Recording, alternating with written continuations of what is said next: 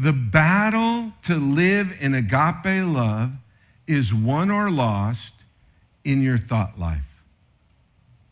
You ever seen somebody angry and they're like so angry, you wonder why they're so angry, and then someone says, Oh, they've been angry for years. Really? How long? Oh, since they were a child.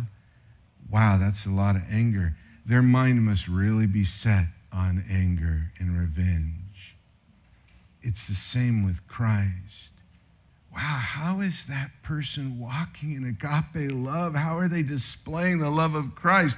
Because it's all they think about because it's all they do. They're consumed in their relationship with Christ. They're consumed with spending time with Him, with hearing from Him, from, uh, by being filled with His Spirit and His Word, and they're walking in it, and it shows.